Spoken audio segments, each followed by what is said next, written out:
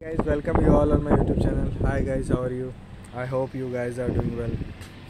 Guys आज हम, ये हमारी कोर ड्रायर फ़िल्टर है, जिसको हम चेंज करने वाले हैं। ये हमारी जामिल की पैकेज यूनिट है। ठीक है, ये हम इसको ड्रायर कोर फ़िल्टर को चेंज करने से पहले, इसको ओपन करने से पहले हम क्या दोनों लाइनों को, जो हमारे कोर ड्रायर फ़िल्टर से पहले वाली जो लाइन है और उसके बाद वाली लाइन ये दोनों को हम क्लोज़ कर देंगे ताकि हमारी कोई भी गैस उधर से वापस नहीं आ सके, ना इस साइड से कोई गैस जा सके। ठीक है गैस तो जितनी गैस इस लाइन में बचेगी, यहाँ से लेके ये वाली लाइन तक तो बस उतनी गैसें हम रिलीज़ कर देंगे, उसके बाद हम वापस से इसको कोल्ड ड्रायर फ़िल्टर के सेक्शन को खोलेंगे और हम इसको फ़िल्टर को चेंज करेंगे। ठीक है गाइज़ ओके मैं आपको पूरी वीडियो दिखाने वाला हूँ कि हम कोल्ड फ़िल्टर ड्रायर कैसे चेंज करते हैं। ठीक है स्किप कंटिन्यू ये हम लोगों ने अभी अभी जो हमारी इस लाइन में जो भी गैस बची हुई है, ठीक है, उसको हम इसमें रिलीज़ कर रहे हैं। हमारे यहाँ से भी आप रिलीज़ कर सकते हो गैस को, या फिर आपकी मर्ज़ी है तो आप यहाँ से भी रिलीज़ कर सकते हो। ठीक है, ये हमारी गैस रिलीज़ हो रही है।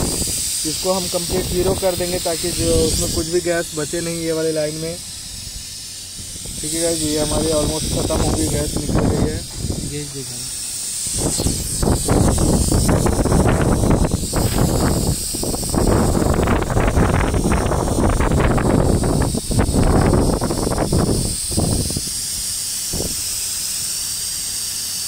प्रेशर देख लें इसकी प्रेशर प्रेशर ही आप देख लें, ये कंटिन्यूस ड्रॉप हो रही है और ज़ीरो के आसपास आ गई है। टेन पी एस आई के आसपास ten twenty P S I के आसपास है गाइस अभी ये ज़ीरो हो जाएगी, फिर हम वापस ये वाले सेक्शन को खोलेंगे। गाइस ये हमारी जो गैस है ऑलमोस्ट ज़ीरो हो गई है। ठीक है, ये इसमें अभी आना भी बंद इसमें गैस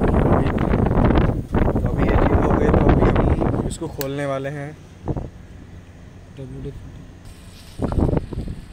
ये डब्ल्यू डी फोर्टी है गाइस हमारा जितना भी नट बोल्ट वगैरह है, उसमें हम डब्ल्यू डी फोर्टी मार देते हैं, जिसमें अगर थोड़ी भी वो जाम पड़ी है कोरोजन वगैरह है नट बोल्ट वगैरह खोलने में थोड़ी भी दिक्कत दे रही है तो वो पूरी तरह से फ्री हो जाएगी, सही हो जाएगी, वो अच्छे से खुलेगी।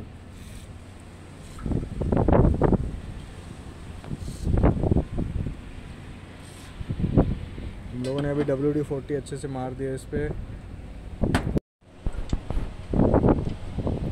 डब्ल्यू डी फोर्टी वगैरह मारने के बाद हम इसको ओपन कर लेंगे, इसको अच्छे से खोल लेंगे, इसकी कवर रिमूव करके हम पुरानी वाली जो ड्रायर फ़िल्टर है उसको हम रिमूव करके नीचे हम इसको वापस से हम इसमें नहीं वाली और ड्रायर फ़िल्टर हम उसमें फिट कर देंगे।